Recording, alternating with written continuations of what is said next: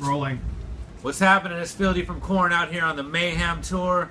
This Gotta is hey, say- How you doing, Phil? Arf! And you know, Hey. we just got off stage, and we're kind of out of it. POD got a new acoustic album coming out. You guys go and pre-order it on PledgeMusic.com. Pre-order!